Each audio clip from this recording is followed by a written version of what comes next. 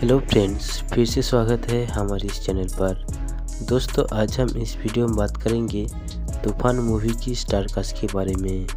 दोस्तों, ये मूवी जब 1989 को आए थे, तब वो एक्टर्स और एक्ट्रेस कैसे दिखते थे और आज 2023 में कैसे दिखते हैं। साथ में ये भी बताएँगे उस स्टार कास्ट का रियल नेम एंड एज तो चलिए वीडियो को स्टार्ट करते हैं।